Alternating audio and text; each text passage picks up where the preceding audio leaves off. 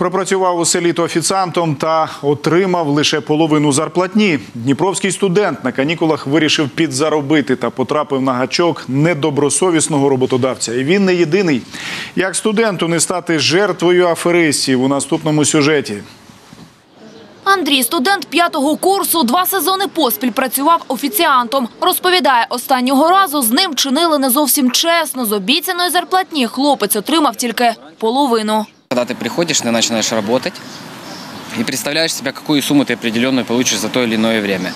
А бывает так, что платят намного меньше, чем ты хотел бы или чем ты наработал. То есть мы там рассчитываем, что нам могут заплатить там 500 гривен, 600, а платят 300-400 или даже меньше. Аби такого не сталося, перед прийняттям на роботу юристи радять оформлювати трудовий договір. Если предусмотрено Кодексом закона о труде официальное э, трудоустройство работника с уплатой налогов там, и так далее, прочих отчислений обязательных, то, как бы, соответственно, вот надо соблюдать требования закона. И тогда человек не попадет вот в такую ситуацию, когда ему не выплатят заработную плату. Тоді роботодавці будуть зобов'язані виплатити гроші за законом. Стопроцентная выплата, даже если человек уходит, мы всегда обоюдно расстаемся. Мы э, всегда предоставляем в полном объеме всю заработную плату.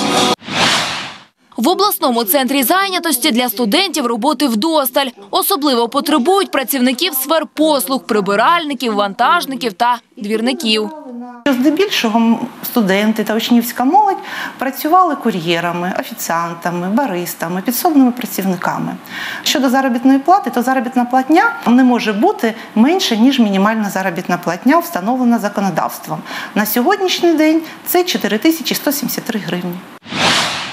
Андрій у сфері обслуговування працювати більше не буде, аби не натрапити на обман, а піде працювати за спеціальністю провідником. Ксенія Куземка, Богдан Пападін, Євген Дрозд Владислав Смичков. Деталі.